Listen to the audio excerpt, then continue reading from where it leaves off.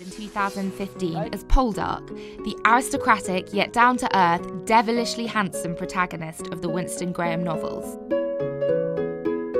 But he had featured in several productions and films before playing the title role in the hit series. After drama school in Ireland, he had a brief two line part in The Tudors.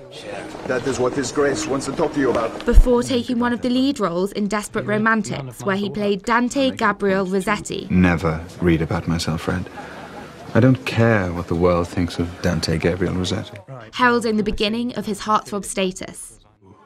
No. You are the most vital brother of all. He also played a good guy vampire with a troubled past in Being Human. I've done such things, Annie. I've done such terrible, unforgivable things. A part which got him noticed by the director Peter Jackson, who subsequently cast him as the brave dwarf Kili in the Hobbit trilogy.